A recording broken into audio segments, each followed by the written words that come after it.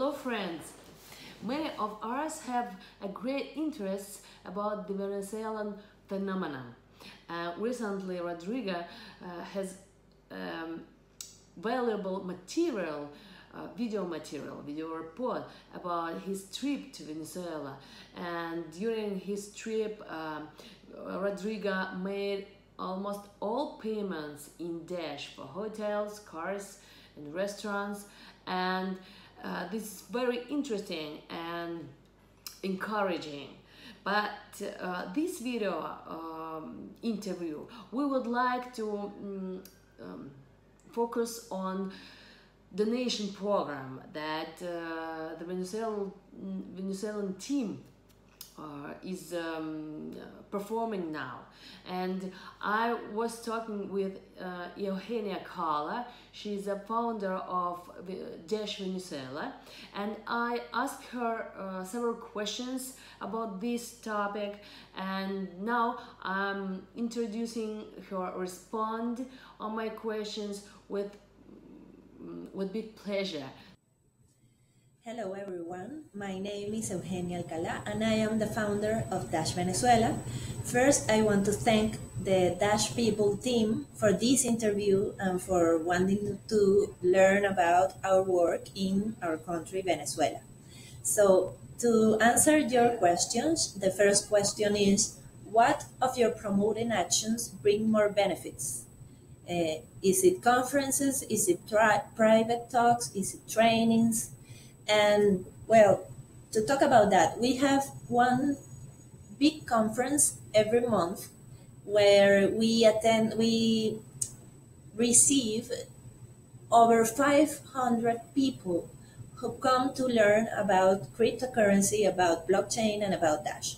We have uh, had um, different experts talking to us from the point of view of the legal status or from the point of view of the uh, how to um, how to make a living in Dash and other cryptocurrencies, or how to accept Dash as a payment or donation if you are an, if you are an entrepreneur or a merchant, and all of these uh, experts have given us extraordinary talks and they have been great. And these uh, conferences also uh, get recorded and they are available in our Dash uh, Venezuela YouTube channel.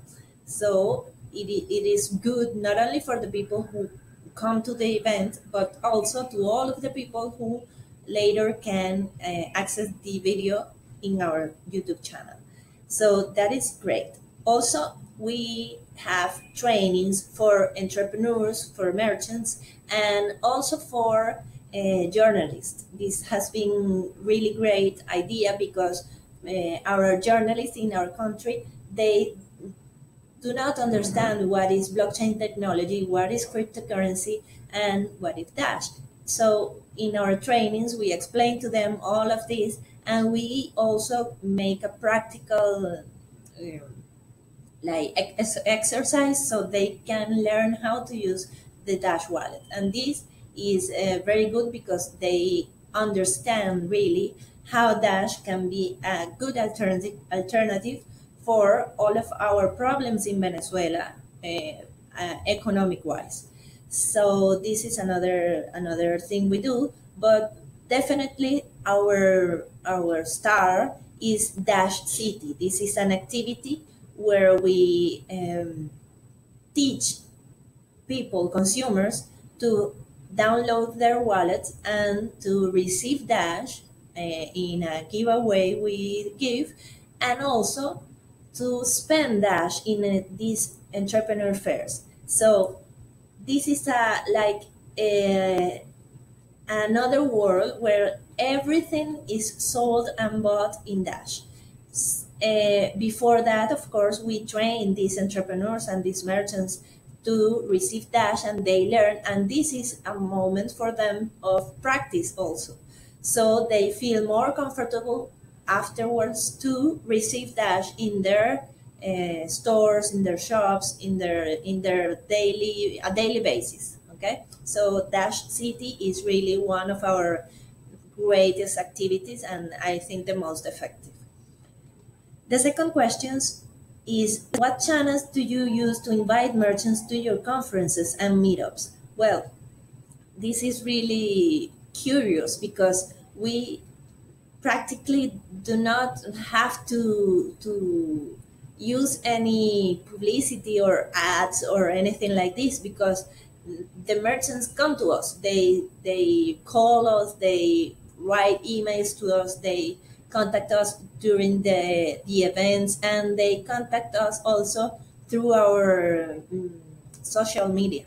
So we uh, practically uh, all we do is is to receive these uh, questions and these emails and these uh, calls and we invite them to our trainings. Also in, in our conferences we have made this activity called interactive tables and in this in, this activity people can come to uh, talk to an to uh, uh, someone who can advise them how to receive dash and how to uh, how to buy dash from Bolivares, for for example, and they also can register then to come to our trainings. The third question is after a merchant is involved in Dash, how often do you connect with him?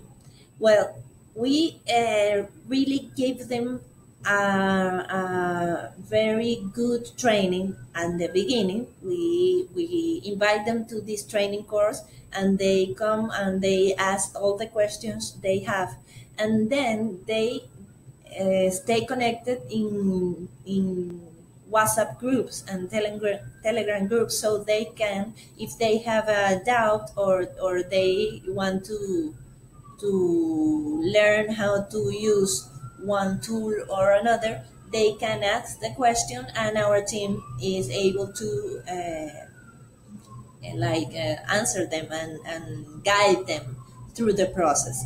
Also, they uh, go through this preparation for uh, participating in Dash City, and this is like a, a series of meetings where we teach them and then afterwards they do also like this uh, evaluation of the event so we can learn from everything we just did. Question number four is how do merchants secure themselves from the high volatility of dash? Well that is a, an issue that comes uh, very often in our training courses and in our conversations with these merchants and these entrepreneurs. So they they have to make decisions uh, when they receive Dash to to see if some of that uh, money is going to the cash flow, meaning they needed to buy more goods or to pay providers or if some of that money is uh, for reserve of value, for for uh, like savings. So, for example, we have uh, some merchants, some entrepreneurs who uh, do not spend any of the dash they make; they just uh, save it and leave it there because they believe that is a way of of um, protecting the value of their capital.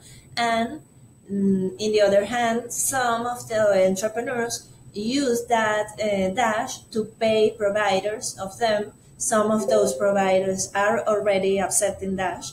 Uh, for example, we have this entrepreneur who makes belts, and he uh, has been able already to buy some of the materials he uses from China and pay them with Dash. So they send it, they ship it from China to Venezuela, and afterwards they have been able to sell their their belts, their finished belts, to someone in uh, I think it's Guatemala and Honduras. I'm sorry, Honduras, and they receive Dash for that for that uh, transaction. So. Mm, our entrepreneurs and merchants have learned to pay some of their providers with Dash directly. If not, they might uh, decide to um, to change the dash to fiat currency of their preference, and in that way they can like decide what to do with their dash. Uh, yes, we are right now. Uh, our, the final question is about our crowdfunding. We right now are in a really interesting time uh, because our um, most recent proposal for the work we do uh, for the month of July was approved. I mean, uh, it got 11% uh, positive, positive votes from the masternode, and that counts as approved. But at the same time, the budget was was overlocated, allocated. I'm sorry. So what I mean is there was a lot of proposals who uh, got approved, and the budget was not enough for us, even though we got the, the votes necessary to be approved. So we were approved, but we are not funded. That's why it's very, very um, oh, a lot of people have contacted us and has asked how to how, how to help us to go on with our work and that is how it occurred to us to make this crowdfunding and the the response has been really really amazing uh, there ha- there has been a lot of donations and a lot of um, contributions to our dash address that we set up for the crowdfunding and we have two um, two goals like two levels of goals the first goal is to, to is enough to make the conference for July without Dash City. And the second goal is enough to make the conference and Dash City. So far, we have uh, raised 148 Dash. Um, our first goal is of 151 Dash, so we are really, really close. And uh, we, uh, the second, uh, the second goal is, I don't remember right now. I'm gonna tell you, but I am confident we can get there because uh, the the response has been so good. There was this one person who very generously offered to loan us uh, 100 dash. So he he or she I don't know he or she uh, gave us already the money the dash, and we are uh, our our our promise is that we in a couple of months in another proposal we are going to ask for this 100 dash to give them back. So that has been really really helpful because that uh, really get us close close very close to our goal. The second goal, let me see it here that will be enough to make all of the dash city and all is of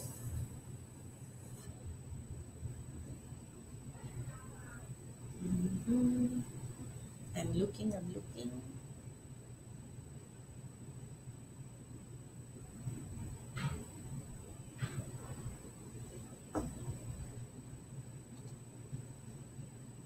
Yes, the second goal is 219 dash. With that, we are going to have enough to uh, make an event for 1,000 people with the conferences and with the Dash City. So uh, thank you very much, Dash people, because this is a window for us to tell about this. And of course, we are going to send to you the address so your viewers can, if they want, to donate. So uh, thank you very much. This is has been a pleasure to talk to you. And of course, I hope someday you can come to Venezuela and see how we are working to make of Venezuela the first Dash nation. See you later.